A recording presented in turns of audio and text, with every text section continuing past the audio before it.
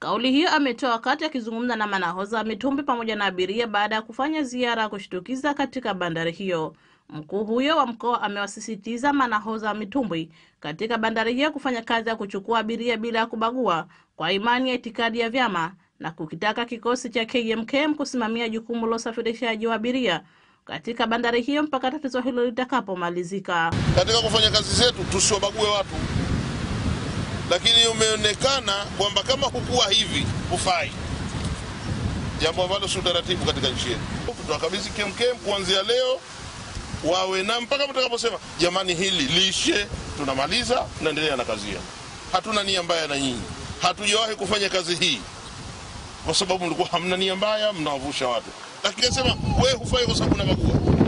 Ampandishe, mimi nampa ruhusa, alipandishe dau juu, tutakwenda kulilinda mpaka kama miaka mitano kama kumi. Baba jamani, shakoma basi, achukua dau lako, hujiwezi utaliacha litaoza. Kwa upande wake mkuu wa wilaya Wete ndugu Rashid Hadidi Rashid ameataka madai yote kupakia abiria bila ya ubaguzi.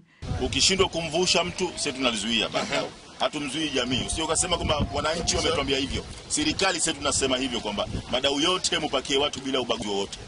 Msimwangalie huyu uko itikadi gani au huyu uko vipi, huyu uko mweupe, wote mpakie. Mtu yoyote atakayekwambia usipakie, kama kuna mtu mwingine, basi tuletee taarifa haraka sana, tujue ni nani huyo anayekwamisha maendeleo ya hapa. Nikiripoti Zuena Shaban, ZBC.